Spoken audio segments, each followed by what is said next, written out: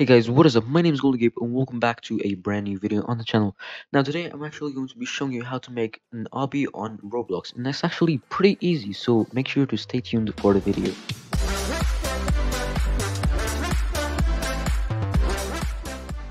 Alright, so the first thing you're going to need to do is actually go ahead and get the obby kit which will be in the link in the description which will take you here.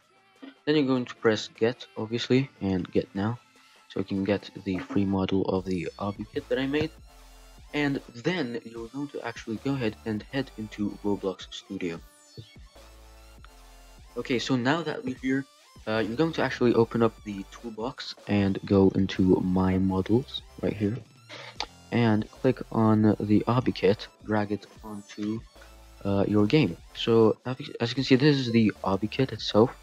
Uh, we have a few things as you can see over here but before we do that, let's actually delete the base plate. And now we have the model. Okay, so now uh, click on it and click Control plus U on your keyboard so we can ungroup everything. So we're gonna keep this uh, script in the workspace and we're gonna take this uh, file and place it into starter GUI. This is for the checkpoints. Uh, so as you can see, we have all of these different obstacles over here. These are all different obstacles. There's some props here that you can use. Now this is the important part. This is the checkpoint as you can see. And uh, every checkpoint that you're gonna make you're gonna rename it to whatever stage number it is. So the first checkpoint will be number one. And then to duplicate it do control plus D.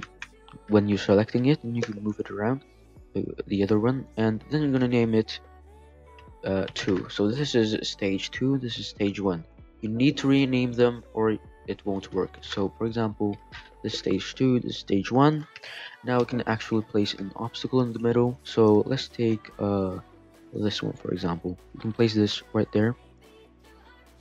Uh, okay. And here are the checkpoints.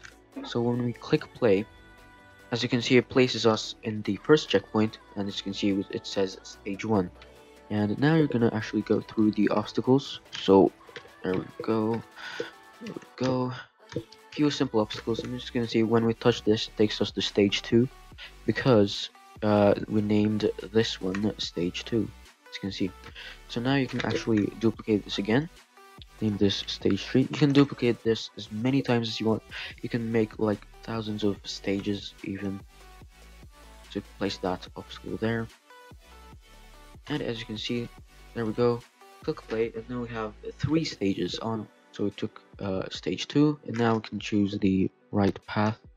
So this one is actually pretty interesting. The path actually um, is randomized so it's not always the same path. So it's a bit tricky as you can see.